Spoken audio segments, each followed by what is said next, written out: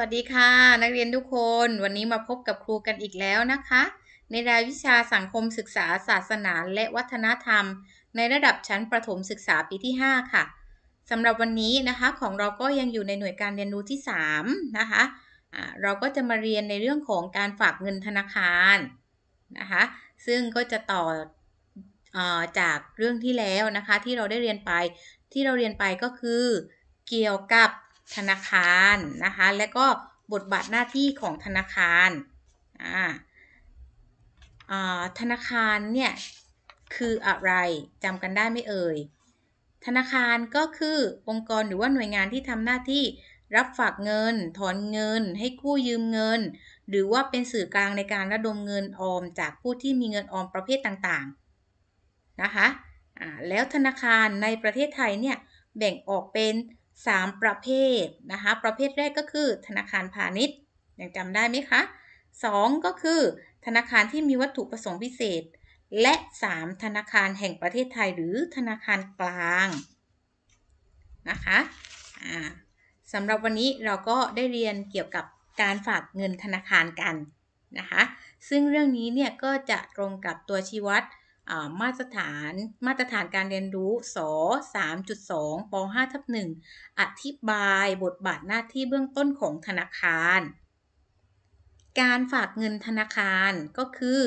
การนำเงินไปฝากไว้ที่ธนาคาร เพื่อเป็นการเก็บรักษาเงินให้ปลอดภัยและก็ป้องกันการสูญหาย ส่วนธนาคารก็จะนำเงินฝากของเราเนี่ยไปปล่อยสินเชื่อเงินกู้ ให้กับบุคคลหรือภาคธุรกิจทำการกู้ยืมไปใช้ในกิจกรรมต่างๆ โดยคิดดอกเบี้ยจากผู้กู้ที่มากู้ยืม ดังนั้นเงินฝากจะถูกใช้เป็นทุนหมุนเวียนให้กับผู้กู้ และผู้กู้ก็จะได้ดอกเบี้ยเป็นสิ่งตอบแทน แก่ธนาคาร ซึ่งธนาคารก็จะนำเงินส่วนนั้นเนี่ยมาเป็นดอกเบี้ยเงินฝากให้กับผู้ที่ฝากเงินไว้กับธนาคารนั่นเองนะคะนักเรียนมีสมุดเงินฝากธนาคารกันไหมคะอะมีนะคะอะเรามาดูประเภทของเงินฝากอะประเภทของเงินฝากเนี่ยมีประเภทอะไรบ้างนะคะหนึ่งก็คือเงินฝากออมทรัพย์ เงินฝากออมทรัพย์เนี่ยก็คือการฝากเงิน ที่ไม่ได้กำหนดระยะเวลาการรับฝากนะคะสามารถฝากหรือว่าถอนนะคะเมื่อไรก็ได้ โดยเงินฝากประเภทนี้เนี่ยอาจเรียกอีกชื่อหนึ่งว่า ฝากเผื่อเรียกหรือฝากสะสมทรัพย์นั่นเองนะคะะประเภทที่ 2 เงินฝากกระแสรายวัน คืออะไร เงินฝากกระแสรายวันเนี่ยก็คือการฝากเงินที่ ผู้ฝากเงินสามารถเขียนเช็คสั่งจ่าย เพื่อโอนเงินในบัญชีของตนเองให้กับผู้อื่นนะคะโดยสามารถนำเช็คไปขึ้นเงินตามจำนวนเงินที่สั่งจ่าย ตามรายชื่อผู้รับเงินที่ระบุเอาไว้ในเช็คนะคะประเภทที่ 3 เงินฝากประจำเงินฝากประจำนี่ก็คือ การฝากเงินที่มีการกำหนดระยะเวลานะคะ การฝากตามที่ธนาคารกำหนดอะมีธนาคารเนี่ยมีการกำหนดระยะเวลาในการฝากนะคะ ก็อย่างเช่น 3 เดือน 6 เดือนหรือ 1 ปีนะคะโดยธนาคารเนี่ยจะกำหนดอัตราขั้นต่ำในการฝากเงินและให้ดอกเบี้ยสูงกว่าเงินฝากออมทรัพย์ โดยที่มีเงื่อนไขว่า ต้องไม่ถอนตามระยะเวลาที่กำหนด ถ้าเกิดผู้ฝากนะคะเลือกระยะเวลา 3 เดือนถ้ายังไม่ครบระยะเวลา 3 เดือนเราถอนได้ไหมคะ เราถอนไม่ได้นะคะ ถ้าเกิดเราเลือกเลือกระยะเวลา 6 เดือนอถ้าไม่ถึง 6 เดือนเราถอนได้ไหมคะะถอนไม่ได้นะคะ เราต้องครบ 6 เดือนถึงจะถอนได้ ถ้าเราเลือกระยะเวลา 1 ปี ถ้ายังไม่ครบ 1 ปีเราถอนได้ไหมคะ เราถอนไม่ได้นะคะ เพราะฉะนั้นอันนี้ก็เรียกว่าเงินฝากประจำนะคะ ถ้ายังไม่ครบกำหนดตามระยะเวลาที่ธนาคารกำหนดเนี่ยก็ไม่ยังก็ยังไม่สามารถที่จะถอนได้นะคะ อันนี้ก็คือการฝากเงินของธนาคารนะคะ ซึ่งก็จะตรงกับแต่ละประเภทนะคะอะต่อไปก็จะเป็นขั้นตอนการเปิดบัญชีเงินฝาก นะคะขั้นตอนการเปิดบัญชีเงินฝากเนี่ยหนึ่งนะคะก็คือนักเรียนเนี่ยต้องนำบัตรประจำตัวประชาชน เป็นหลักฐานในการยืนยันเปิดบัญชีนะคะ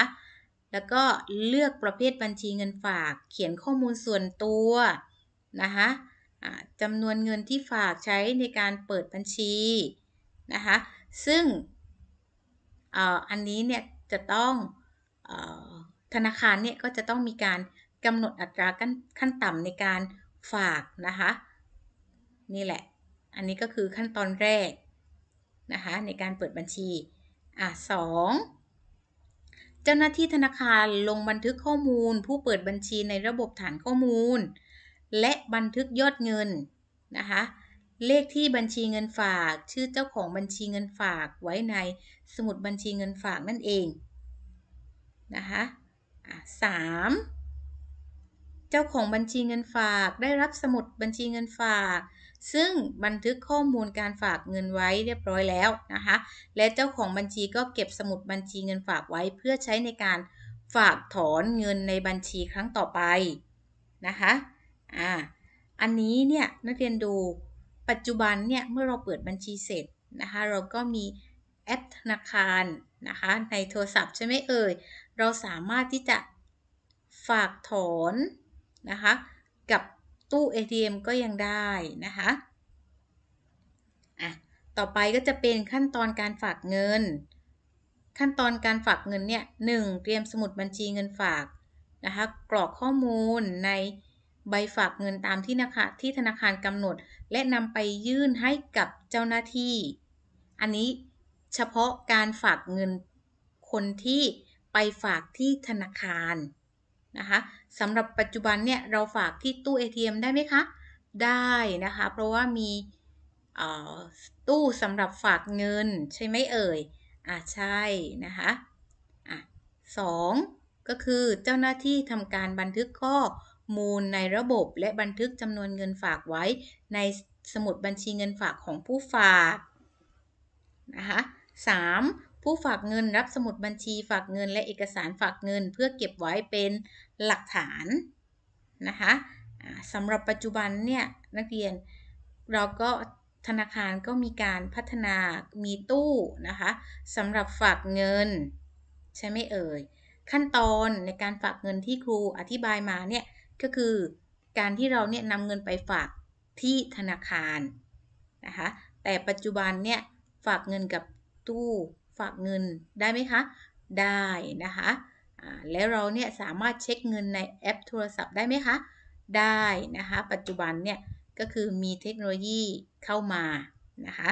มันสะดวกต่อการฝากเงินหรือว่าเช็คยอดเงินในบัญชีได้นะคะอะเนี่ยนะคะ อันนี้ก็คือเป็นส่วนของการฝากเงินนะคะ อ่า นักเรียนเข้าใจหรือยังคะ ในส่วนของการฝากเงินนะคะการเปิดบัญชี ใช่ไหมเอ่ย ขั้นตอนการฝากเงินต่างๆ เข้าใจกันไหมคะอ่าเข้าใจแล้วใช่ไหมเอ่ย ถ้านักเรียนเข้าใจแล้วเนี่ยครูก็ขอจบเพียงแค่นี้นะคะสำหรับวันนี้เนี่ยไม่มีชิ้นงานนะคะ ไม่มีชิ้นงานนะคะ สำหรับวันนี้ครูก็ต้องขอลาไปก่อนนะคะ ไว้เจอกันใหม่ในครั้งหน้านะคะ สวัสดีค่ะ บ๊ายบาย